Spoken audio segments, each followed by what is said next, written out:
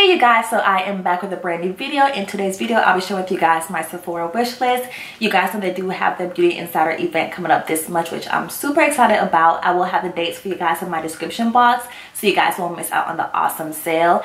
And if you guys want to see what products I have on my wish list, and of course, just keep watching all right so i'm gonna try to speed through the video because my phone is actually about to die and i have my pictures on my phone. Um, i am to insert pictures so you guys can pretty much see the products that's on my wish list. Um, but starting off the first one is by Too Faced. Is their natural matte eyeshadow palette. It is a new eyeshadow palette. And first of all the packaging is so gorgeous. I think it's pretty and it's very like minimalistic and it looks very you know like different from like the outrageous packages that's out there. Um, moving on to the actual palettes, I do love the eyeshadow colors in the palette. Now, I will be honest and say it's not eyeshadows that's different from anything on the market because you can pretty much find these eyeshadows in like other palettes. However, I just love an all matte eyeshadow palette. I think it's a good staple to have in your collection. And I do love Too Faced eyeshadows. They're super pigmented. They always blend out really nicely and I have no issues like working with them. So I just kind of figured I would get the eyeshadow palette and it's only $38 so it's not to really kill the bank. So I do think I'm to get it and just kind of have it in my collection in case I have that one eyeshadow palette that have no mattes that pretty much suit my need. So definitely want to get that one. The next one is by the sephora collection is the make no mistake foundation and concealer stick. Now you guys when i saw that product in store you already know i'm not a fan of like foundation sticks concealer sticks. I pretty much prefer to have the actual like liquid product. It's just what works best for me.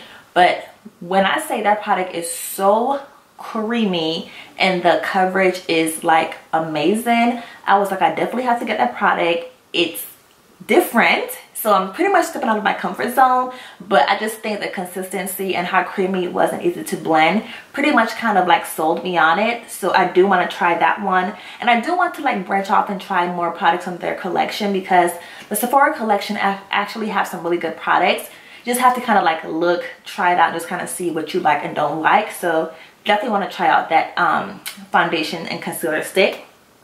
And the next product is the Sephora Favorites Give Me Some Nude Lip. Now you guys know I love those like sets, whether it's the skincare, um, fragrance, lip set.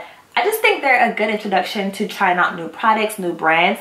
And right now I'm definitely into like the nude lip. Um, so I kind of figured it's some good products in hair, some good brands in hair. I'm only paying $28 for it, so I kind of figured why not give it a try. And maybe I might find like my perfect nude in that collection. So I definitely want to try that out. Next product is by Huda Beauty. It's their 3D highlighter palette. Now, you guys know I've had my eye on that highlighter palette from when it first came out but I never bought it so I kind of figured because I'm getting like a discount might as well just buy it. Um, the colors in there are so pretty and I think it'll be really pretty against my skin tone. I love that like bronzy golden color. The traditional gold is in there. It's just a really pretty highlighter palette and I definitely want to try it out and just kind of see how I like it once it's in my possession. The next product is by Kopari is their coconut lip glossy like lip gloss you guys when i tried their product out in store i was like oh my god. Sayeeda where have you been? When i say it is so pretty on the lips it's definitely glossy but it's not sticky at all. And it lasted so long on my lips. It kept it so hydrated and i just love like the glossy shiny look of it that will be the first product that I'll purchase off this wish list because it's amazing. And you guys know when it comes to like lip balms, I have a hard time finding one to work for my lips.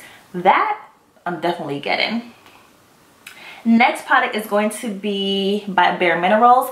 Now, when me and my friend Andrea was out shopping, you know, for like some makeup and just hanging out, we actually swatched the Bare Minerals like lip lacquers. Oh my God I have been sleeping on Bare Minerals in terms of like their lip products because when I say the pigmentation, the intensity was crazy pigmented. They pretty much blew like Anastasia like out the water with the intensity of their colors. So the three colors that I have my eye on, it's called Savage. It's like a really pretty like cocoa brown color. It is so pretty. It almost reminded me of the Kylie K the Kylie K. It almost reminded me of the True Brown K lip gloss by Kylie Cosmetics. and I kind of figured I need to just get like something that's more like a chocolatey color to just have in my collection. So that one I definitely have my eyes on. The next one is called Perf. That's the one that me and her really wanted, but it was sold out. So we was like, oh, we have to buy it online. It almost looks like your lips, but better. It is so pretty, you guys. I actually had um tested it out in store and a customer was like, oh my God, like what's on your lips look really pretty. And I told her, you know, what it was. But again, you know, there wasn't any in store. So definitely want to get that one. Um, that one is more like a chestnutty, pinky color. Again, it's pretty much like my lips but better so again it's really pretty and the next one is called yes that one is like a light nudie beigey color. I will probably have to mix like a brown lip liner with that one to make it more wearable. But again i'm into those nude glosses so i don't mind doing that. But those are like my top three options to get and then my next product is by Pat McGrath. Is her Mothership Subversive La Vie en Rose eyeshadow palette. Now she just came out with her bronze palette. Um, to me that one is really pretty but those colors are pretty much standard in like other eyeshadow palettes. This one to me is definitely different. It looks like spring to me.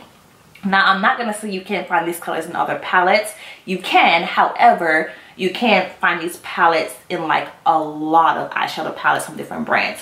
So it just pretty much caught my attention. The packaging is really pretty. So I'm thinking about it i'm on the fence and it's not her most expensive palette which is really good because it only costs $58 which that's not a bad price at all for her palettes because the quality is there the pigmentation it's there when you swatch it it's an intense pigment so you're pretty much getting a good price for a good quality palette and my last item that i'm thinking about is by Amrezy. It's her highlighter palette collab with Anastasia Beverly Hills.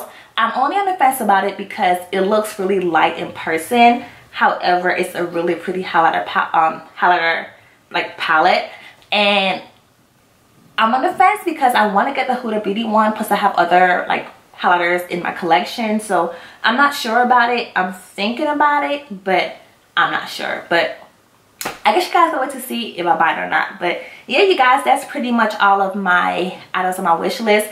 I know it wasn't that long, but I was scrolling through Sephora's website and I was like, there's nothing on here that's really catching my attention right now in the moment besides those like options. So hopefully I got a few things off my list. But yeah, I hope you guys enjoyed my video. Like always, please rate, comment, and subscribe. And I'll see you guys next time. And also let me know in the uh, comment section, what are you getting for the sale? All right, I'll talk to you guys later. Bye, guys.